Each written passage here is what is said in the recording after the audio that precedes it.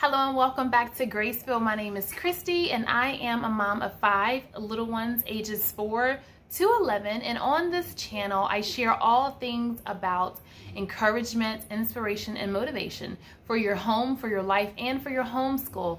This is going on my 10th year of homeschooling and I have something for everyone in the playlist. So if you're new here, welcome and please consider subscribing so that you can join the family and see what cool things I have to offer. So in today's video, this is a collaboration with Shalise over at Sod Buster Living. And I love Shalise. I've got to know her over the past maybe four or five years or so. Um, and she is really amazing. I really have a lot of love and respect for her. I love the way that she stewards well the things that God has entrusted her with, the things that she's been given.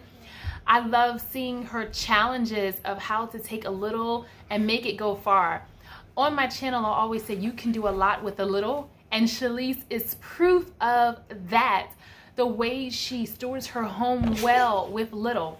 So in this video, we are doing a collaboration where we're talking about how to begin budgeting.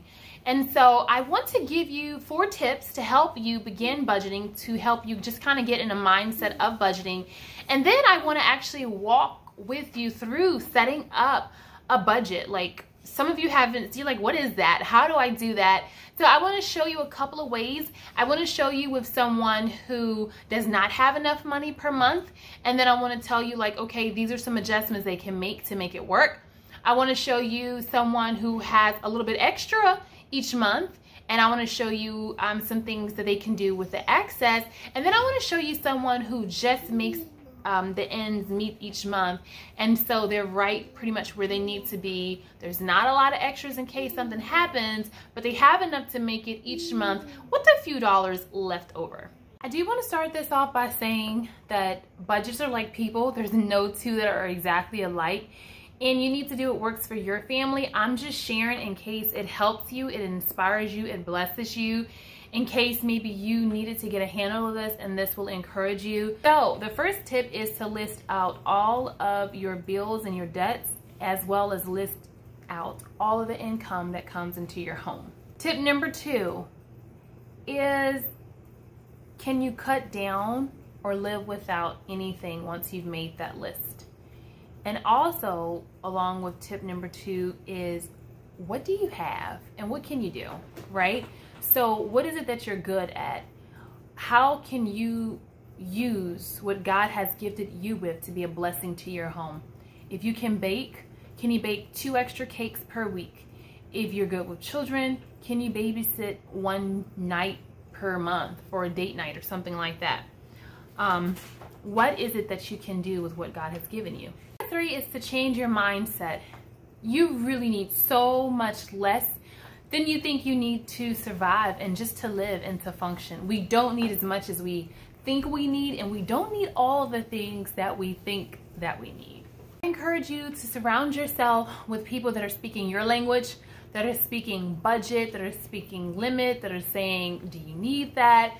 People that are encouraging you to follow through with your goal, with your vision, not people who are saying, let's go shopping, there's a sale going on, um, let's go out to eat, because honestly, if you're a single family income, that's probably not in the budget. And if you come back um, next week or so, I'll be making a video and I'm hosting a collaboration about um, how we sacrifice and the things that we sacrifice so that we can homeschool and having one income typically is one of those things. So can you take a look at podcasts um, or listen to podcasts? Can you watch videos with people who are talking about being debt free? Can you follow people who are on a debt free journey? So those for me are ways to just stay focused by surrounding myself with what it is that I'm trying to create and with the vision that I have in mind. And the fourth one, honestly, won't work for everyone, but it's to pray submit your request unto the Lord and to really talk to him about what's going on in your life. I mean, he knows anyway, but the thing is just to be open and honest with how you feel and just share with him that and pray about your finances, pray about your budget and and seek him for what he can do, you know, to help you out. Again, kind of going back to um, tip number two, what do you have in your hands? You know, when we go to the Bible, it was so often where he would say, what do you have? And from what they had, he made the blessings. He provided the increase with a little bit of fish and a little bit of bread and a little bit of cornmeal. I just have enough for me and my son. We're going to die. He's like, oh, that's what you think. You think you're going to die. You're going to go in there in that kitchen and you're going to make it and it'll never run out. Like, he is just that kind of a God where he takes little and he multiplies it. And that's why here at my channel, I've always said, you can do a lot with a little because if you have him, he'll turn your little into a lot. All you do have to do is have the faith to believe it. So what I want to do is turn you around and I want to make up three budgets for you. Okay, so what I'm doing is I'm going ahead and just writing this out. You know, there are so many beautiful budget planners, budget stickers, all the things. And honestly, you can break your budget just trying to plan for your budget.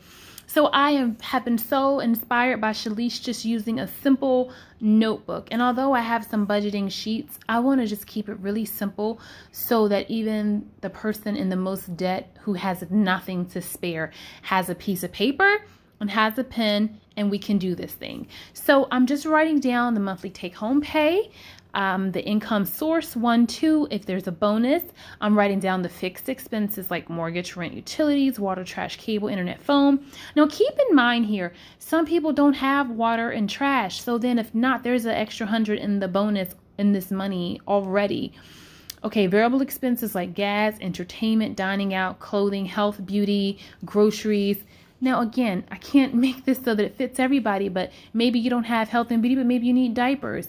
You know, maybe you need, um, maybe that could be your like soap, tissue, paper towel type bill. Maybe that's included in your groceries. Maybe it's outside. I'm not sure, but again, I'm just providing a guideline for you.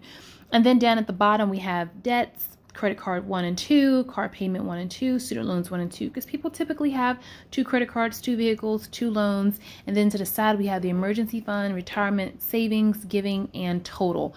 And I would suggest that the first thing you focus on is the emergency fund, and um, then we can get into a sinking fund, but that you don't worry about necessarily the extra to retirement or to college until you have um, at least your emergency fund until you're out of debt. So for these, um, for this scenario, I'm just using an income source of $3,000 for the month with a $900 mortgage, with $200 utilities, with the $100 water trash, $100 cable, $100 internet, $100 phone bill. And that brings that total to be about $1,500. So now for the variable expense, I'm just using 200 for the gas, 200 for the entertainment, $50 for the dining out, $20 for the clothing, $20 for the health and beauty, and $400 for the groceries. And that brings that total to $740. So for credit card one, I think I put down $40. For the car payment, I put down $350. For student loan one, $200. For student loan two, $200, bringing that total to $790. And for the emergency fund, or excuse me, and for the giving, 300 if you took the 10% of your tithes and paid that. So your total expense for the month is 3000 and excuse me, your total income for the month was 3000 your total expense was $3,330, so it means you're negative $330. Okay, so when we don't have enough money, we can decrease our spend or increase the income. So first you could get a side job to increase the money, or you can cut out some things. So I cut out health and beauty, clothing, dining, um, entertainment, and I cut out the cable. That gave us a bonus of $220 and um, I decided to go ahead and take $80 from the groceries just for that one month. So instead of $400 for the month for groceries, you've got um, $320, which means you're going to use your pantry and it means that you are going to shop on sale.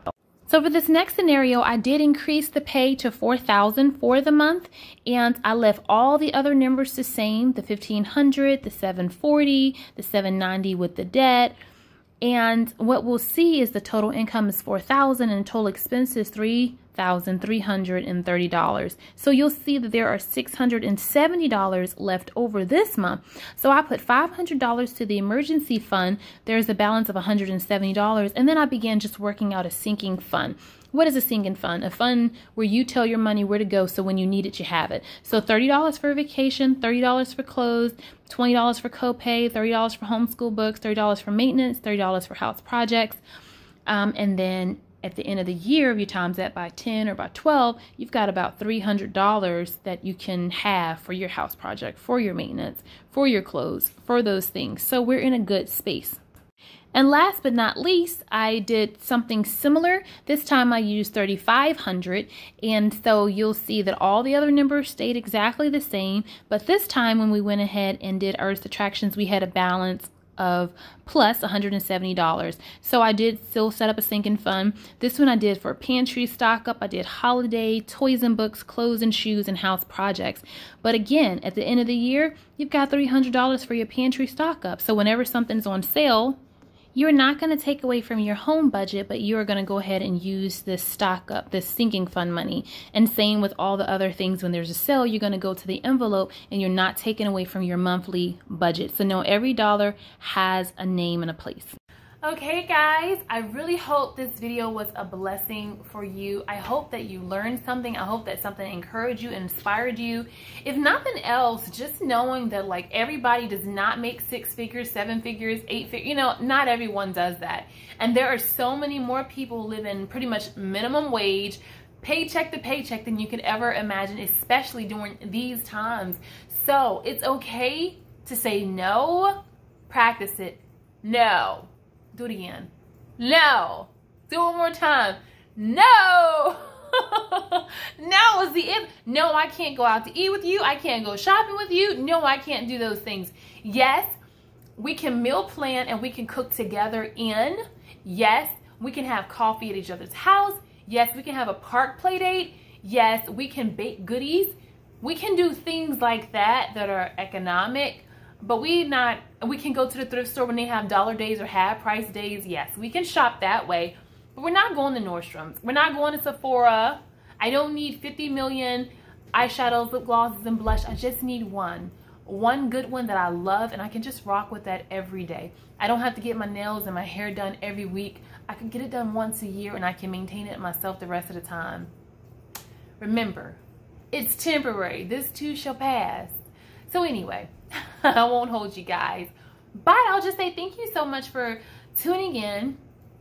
Do me a favor, go ahead and subscribe, give me a thumbs up, share this video with your friends, and I'll see you back in my next video.